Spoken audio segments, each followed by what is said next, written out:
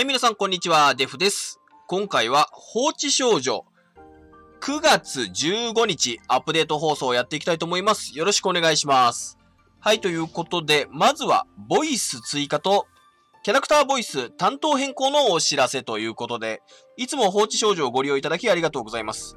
9月15日火曜日のメンテナンスにて、キャラクターボイスが追加され、一部のキャラクターのキャラクターボイス担当も変更されます。ということで、えーまずはボイス追加キャラクターですね。新規宝山城、えー、監視、えー、ロッシュクかなえー、関銀平、大元気、大外。まあ、この辺、SR の子たちかな。まあ、キャラクターボイスがなくて、まあ、今回、えー、つきますよという話ですね。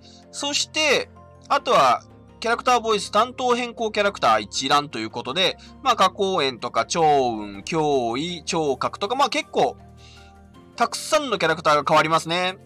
まあ、えー、竹達さんとか、白石さんとか、小倉さんとか、北村さんとか、有名どころが声を当ててくれてたりしますので、まあ、ぜひ、このアップデート後ですね、どれが変わったかっていうのをチェックしてみて、聞いてみてください。まあ、結構変わったみたいですね。うん。そして次ですね。えー、フェアリーテイルのコラボの続きですね。画像を出しましょう。こちら、UR 戦新キャラ登場ということで、えー、フェアリーテイルコラボイベント開催、エルザということで、エルザがやってきますね。妖精女王エルザ参上、宴会でも最も豪快な一面を見せるということで、期間が9月15日火曜日12時から9月21日月曜日23時59分となっています。今回のフェアリーテイルコラボイベントは、フェアリーテイルガチャコインを使用してガチャを行います。このアイテムは後に実装されるフェアリーテイルコラボイベントでも続けて使用できます。そのため、最後のコラボイベントの際に使用可能期限を提示、えー表示します。ご理解、ご協力のほどよろしくお願いいたします。ということで、どうやらこの書き方だと、えー、っと、誰だっけ？ウィンディか。ウィンディは原宝を使って、まあ、原宝とフェアリーテイルコインどちらも使って、まあ、獲得することができましたが、まあ、どうやらエルザはコインのみということで課金税のみを対象としたガチャになるっぽいですね。うーん、ってことは、まあ相当な壊れキャラクターが来ないと、まあ誰もお金をつぎ込まないわけで、まあこの辺は今日のアップデートを期待しましょう。まあ課金できる方専門になってしまうんですけど、まあこれは、まあ性能と比例していくのかなっていうところですね。そして次です。えー食欲の秋。食欲の秋、転移と秋の書風からあなたに読書のお誘いということで、期間が9月15日火曜日12時から9月21日月月曜日23時59分となっています。今画像をどけて、まあ今画面に出ているのが食欲の秋転移ですね。まあこの子は特徴はやっぱり自分で自力で暴走に入れるところかな。うん、なので、まあ火力は結構出ますね、思ったよりね。うん、まあスキル1が範囲で、スキル2が連撃と。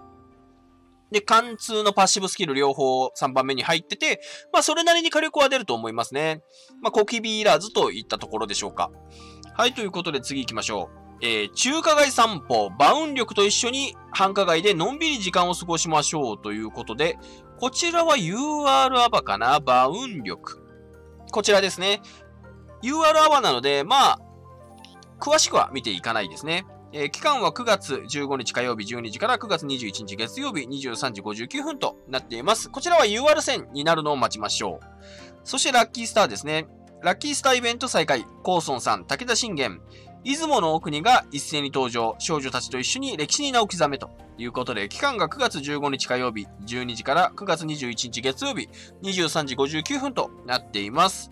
はい、ということで、ラッキースターイベントは切り替わるので、まあ、しっかり毎日無料を回して、確定だけでも最低でも取っておきましょう。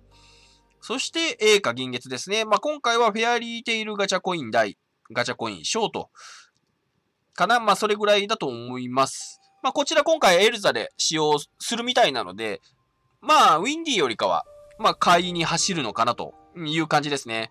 そして、あとは百科美人。今回の限定ガチャに超量が登場。獲得した新章交換券は他の副賞の絆に交換できるよと。期間は9月15日火曜日12時から9月22日火曜日9時59分と、まあ1週間となっています。はい、ということで、限定ガチャのところですね、百科美人の、まあここが超量に変わりますよと。まあ超量いい奥義に絡んでいるので、まあこちら SSR ですけど取っておいていいと思います。はい、ということで、まあ、今回のアップデート情報はこんなもんかな。まあ、やっぱり目玉となるのは、エルザですね。ウィンディがまあまあ、そこそこ強かったので、まあ、課金専門のエルザは、まあ、なお強いんでしょうね。うん、ここは期待しておきましょう。そして、あとは、バウン力ですね。UR アバですけど、バウン力。そして、UR 線アバの、えー、転移もやってきますね。えー、っと、転移、転移、転移、どこ行っちゃったかな？あ、いたいた。はい、ということで、食欲の秋転移ということで、まあ、明日は、そうですね、エルザの復唱解説やっていきたいと思います。そして、あさってできれば、まあ、転移の復唱解説とかやれたらいいなと思いつつ、まあ、順番に収録していくので、動画が上がったらよろしくお願いします。はい、ということで、今回の放送はここまでになります。チャンネルの登録、ツイッターのフォローなど、ぜひよろしくお願いします。はい、ということで、ここまでお送りしたのはデフでした。おつデフ